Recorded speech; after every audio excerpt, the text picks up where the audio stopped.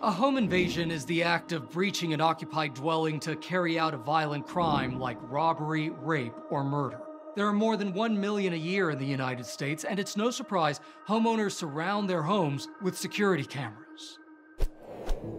It's 4:45 a.m., almost sunup in Sarasota, Florida, and as these two men lounge in the backyard, the unthinkable happens.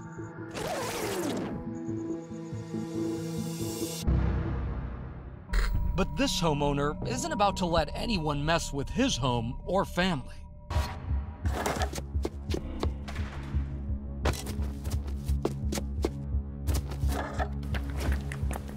The man runs inside. Meanwhile, a third assailant orders the other man in the yard under the table. The homeowner returns with a giant machete. Two suspects immediately retreat. The remaining assailant is cornered.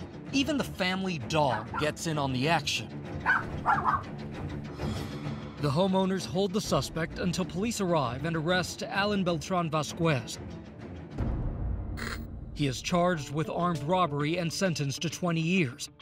Later, three of his accomplices are found, arrested, and convicted. A fourth suspect is at large.